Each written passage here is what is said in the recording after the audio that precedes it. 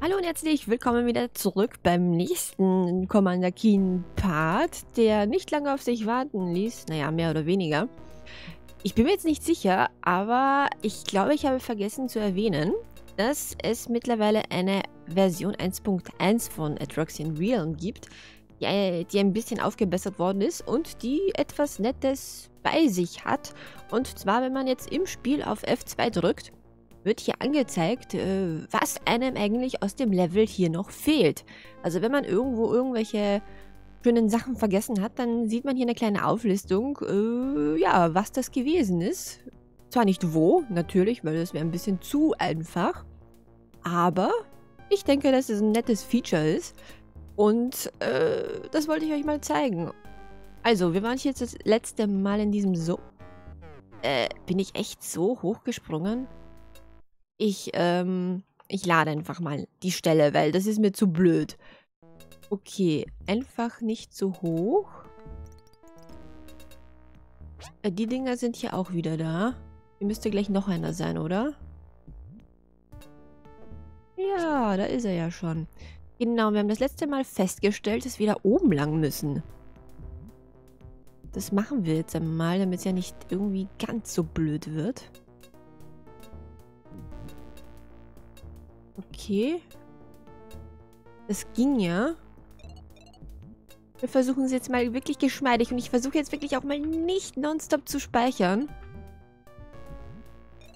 Was einem nicht einfach fällt. Aber ja, so ist es. Okay, wie war das jetzt hier unten? Okay, hier nach oben geht's nicht, aber hier geht's irgendwie lang, oder? Genau, das wollte ich mir holen. So eine Form von Mini-Mini-Secret. Ja, ich, ich, ich, ich mach's ganz langsam, ne, weil ich möchte jetzt hier gar nichts irgendwie verplempern. Was ist denn das Rote da? Ach so, das ist die Pflanze. Okay, das war mal okay. Gut, damit würde man jetzt hier eine Tür öffnen. Jetzt ist die Frage, welche? Pff, äh, ignoriert das einmal. Pff, ignoriert das bitte schön. Also das ist wirklich so eine tolle Sache. Hier bei Windows 7. Ja, ich benutze weiterhin Windows 7. Das wird sich nicht ändern. Ähm, und hin und wieder bekomme ich so eine Meldung, ja, äh, es gibt irgendwas Neues für, für Microsoft Office. Und ich denke mir so, was interessiert mich das denn? Ich nutze Microsoft Office nicht. Oh oh. Oh. Lol. das war jetzt absolutes Glück. Okay. Und hier würde uns jetzt auch irgendwas fehlen, nehme ich mal an. Aber ich habe vorhin etwas Interessantes gesehen und ich wollte ja gucken, wie man da rankommt. Seht ihr das? Wie komme ich an dieses Secret?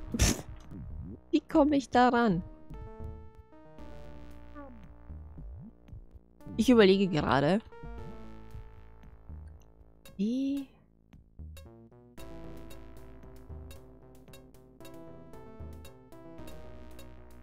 Ich glaube, Wisst ihr was? Ich speichere hier mal kurz.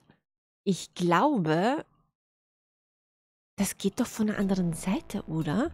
Ich wette, man muss hier nämlich unten irgendwie lang. Also irgendwie... Das muss doch irgendwie so gehen, weil anders kann ich mir das jetzt nicht erklären.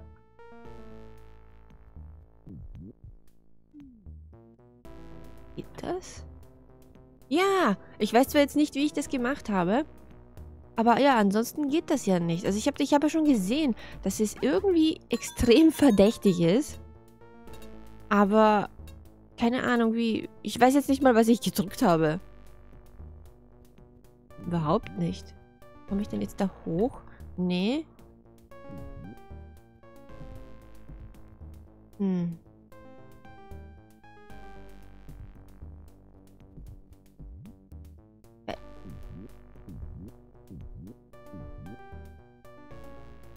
Okay. Ich wäre jetzt fast gestorben, weil ich jetzt nicht bemerkt habe, dass ich wieder oben bin. Ja, das sind so die Dinge, die, die man immer so ein bisschen rausfinden muss, weil man, man sieht ja nicht, was hinter der Wand los ist. Da könnte weiß Gott was los sein und es könnten solche Stangen vorhanden sein und ich habe keine Ahnung. Aber okay.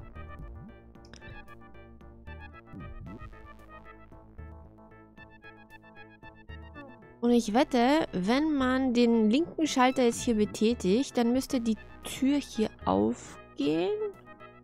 Äh, nee, nicht aufgehen, sondern diese Plattform müsste dann wieder da sein. Diese Luke. Hm. Na gut. Gucken wir mal, was es hier wo weiter gibt. Ich speichere hier jetzt mal wieder vor der nächsten Herausforderung. Ich glaube, so viel Speichern ist mal gestattet. Okay, return to game. Oh, ne, das war ein bisschen WLAN-Platz. Oh, what the f...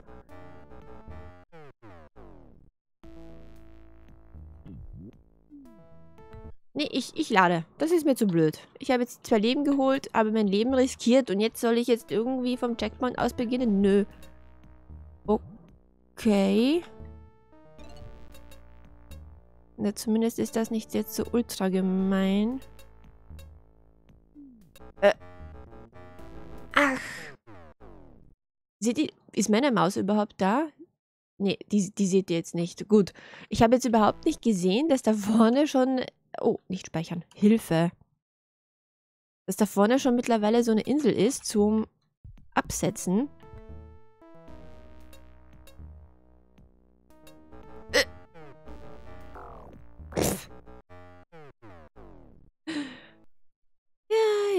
Es beginnt wieder. es beginnt wieder. Na?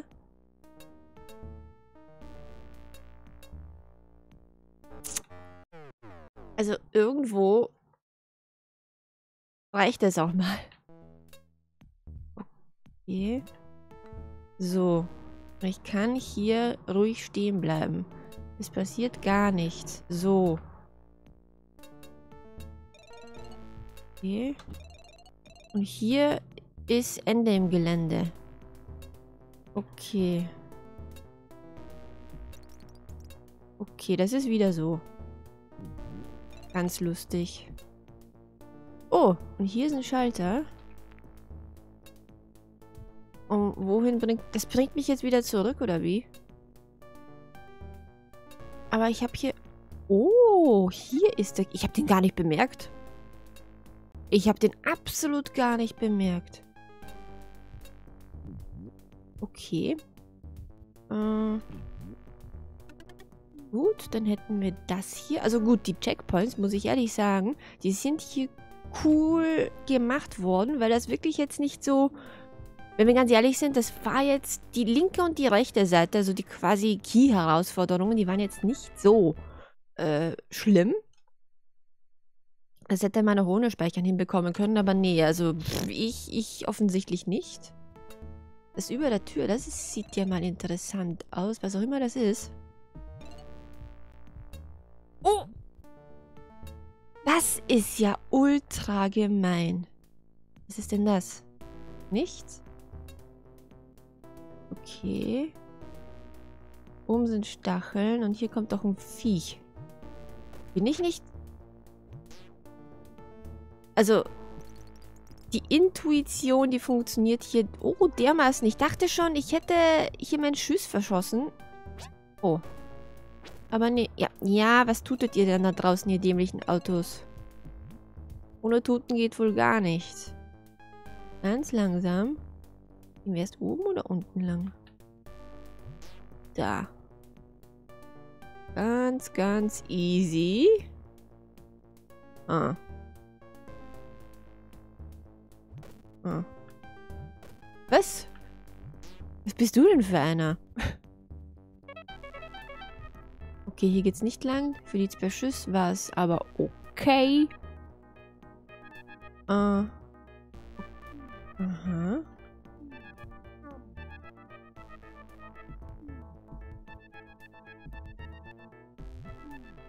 Aha. Okay. Das war das war nice und es war trickig und es war einfach schön. Aber es, es, war, aber es war wirklich schwer. Also wer jetzt da, also ohne Witz, also daran merkt man, dass Commander Keen, also dieses Spiel überhaupt nicht für Leute gemacht ist, die Keen nicht kennen. Also damit würde ich definitiv nicht anfangen. Wenn ich die Chance hätte, hätte Keen halt eben zu spielen. Also auf jeden Fall nö. Oh Mann. Die Spinnen des Todes. Was ist das? Ich versuche alles zu drücken, ne? Pff. Oh, ich habe das Ding gar nicht gesehen. So, die wollte ich holen. So, wie viel fehlt uns denn? Guckt euch das an. 3 Sparks, 40 Bonus-Items und, und 5 Schüss.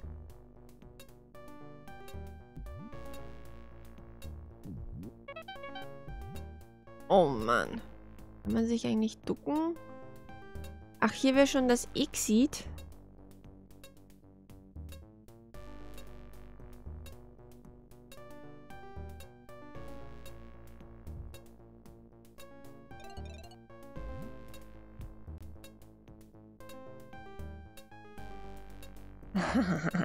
okay, geschafft. Sehr nice. Alles klar, das nächste Level haben wir jetzt auch geschafft. Oh, und hier wäre schon das nächste. Alter, seht euch mal das Design hier an. Also das ist wirklich richtig nice geworden. Also ich kriege jetzt Angst, dass ich jetzt irgendwelche Level verpasse. Ähm, ging's? Ah, nee, nee, nee, okay. Hier habe ich, hier bin ich, von hier aus bin ich ja gekommen. Dann machen wir einfach... Äh, kann ich hier nicht durch? Nee, offensichtlich nicht, oder? Nee, ich komme da erst... Oder? Wieso... Wieso komme ich hier nicht durch? Ach, die sind geschlossen oder was? Ich weiß nicht.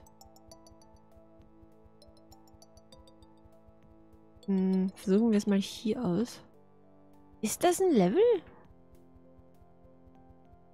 Okay, hier aber. Larvage Lagoon. Bums. Ja, wie ihr gesehen habt im letzten Part, also in diesem, ich bearbeite aktuell nicht so viel, weil ich einfach nach dem Motto quasi meine Videos produziere, ja, ich mache erst, da, ich mache nur dann was, wenn ich auch wirklich Lust dazu habe. Und aktuell ist das halt nicht so. Also wenn ich mir jetzt so vornehmen würde, ja, bearbeiten, so wie immer und die ganze Zeit, dann äh, hätte ich vermutlich absolut keine Motivation, irgendwas zu spielen.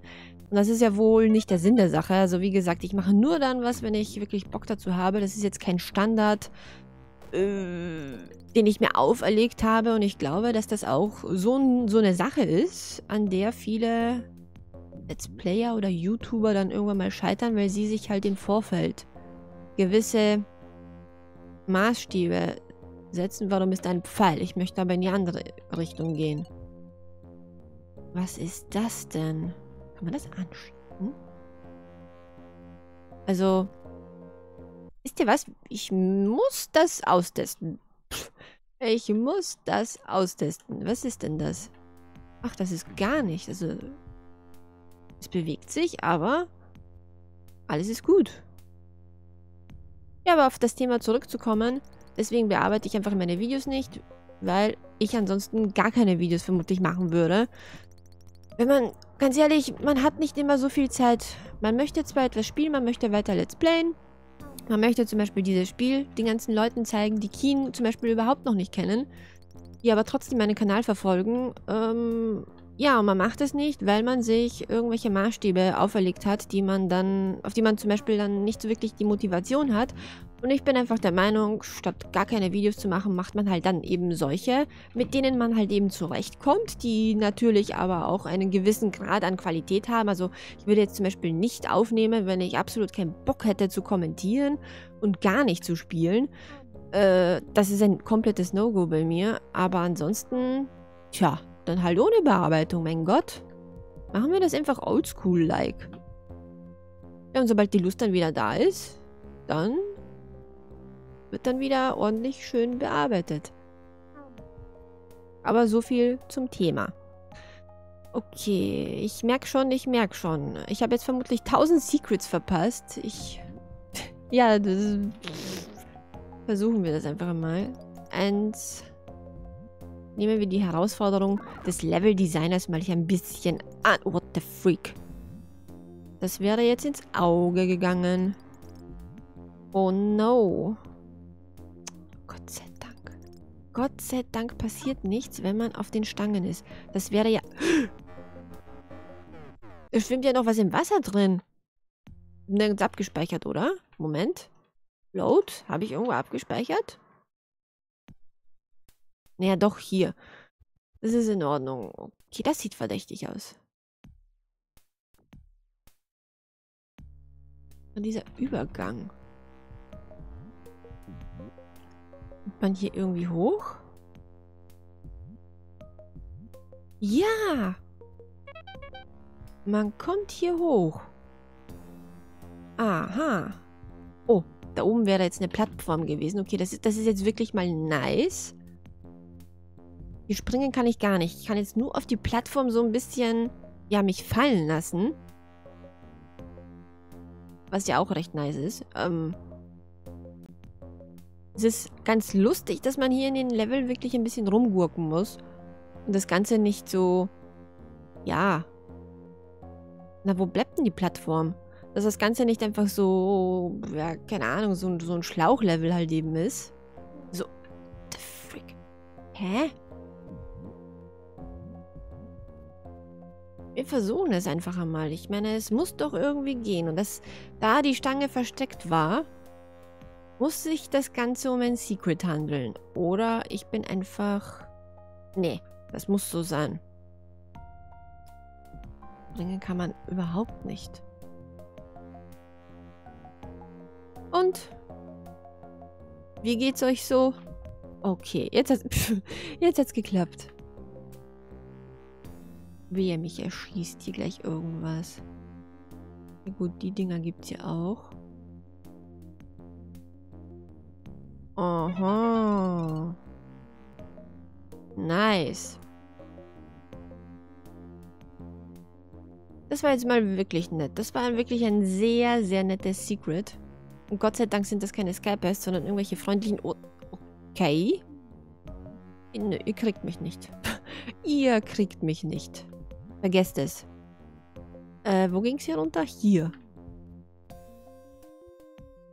Okay. Aber ich würde sagen, an dieser Stelle beende ich diesen Part, denn wir werden im nächsten Part sehen, wohin uns diese Stangen hier führen. Ich hoffe, es hat euch gefallen. Und wir werden im nächsten Part weitersehen, wie es hier mit den Arctroxianern weitergeht. Bis dann.